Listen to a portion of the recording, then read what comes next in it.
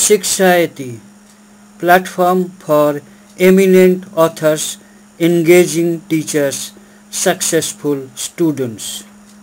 To know more, email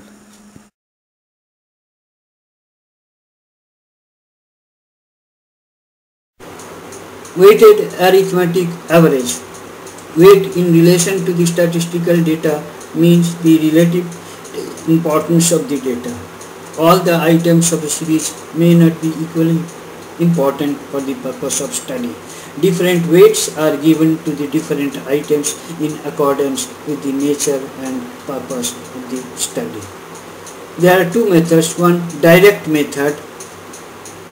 In direct method x bar is equal to a plus sigma dw by sigma w where x bar is the weighted average arithmetic mean a is assumed mean sigma dw is sum of the product of deviation of variable x and weights and sigma w is equal to sum of the weights thank you for watching the video kindly write your comments Click on the red subscribe button at the bottom of the video to get more details and free ebook.